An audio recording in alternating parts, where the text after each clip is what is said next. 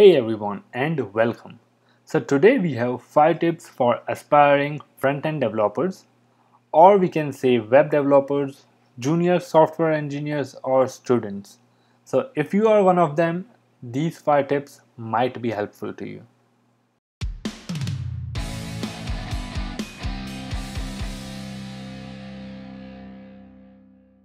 Don't forget to press the subscribe button and click the bell icon to stay up to date with all our videos. Number one, pick a language. The most important thing when you start learning is picking up a language. You will get a lot of people suggesting you that this language is an important one, you will get a better job. This is a very popular language, but it's up to you. You should decide which one you want to learn, which one you want to go ahead with.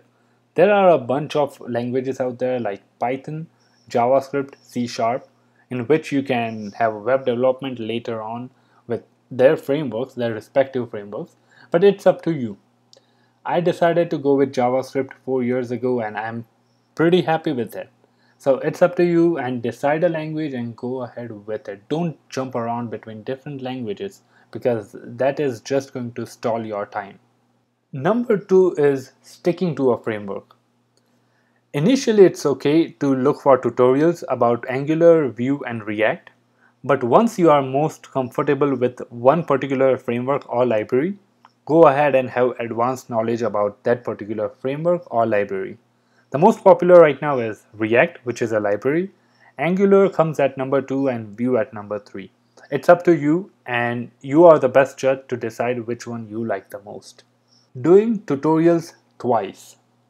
Once you can copy and paste the exact same thing the instructor on your YouTube or Udemy class is giving you and the second time you can do something on your own. Try to have a different design, try to use a different database, try to use a different CSS framework and there is a special reason behind it. Let me know in the comment what do you think could be the reason about it. Group based projects. This gives you a look and feel of working as a team.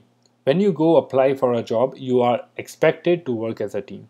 And group based project kind of gives you the same thing. How you can find people to be a part of your group based project? You can either look for your classmates or look for people online because everything you can do, you can work remotely.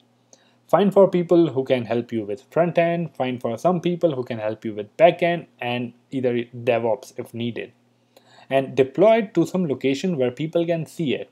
So at least they can have an idea what project you have done and you get a feel of how this environment works. Number 5. Facing errors. This is the most frustrating part of the development. If you face an error, my suggestion is try to figure out solutions for that error for 15 to 20 minutes by googling or even on Stack Overflow. If you cannot find any solution, ask a question on Stack Overflow. So these are my five points about for the new developers who are students or junior web, web developers or junior software engineers. Let me know if I'm missing some points.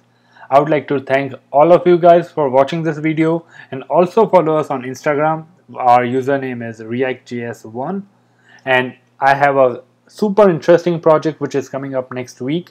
So till then, Stay safe and I'll see you next time. Have a good one. Bye bye.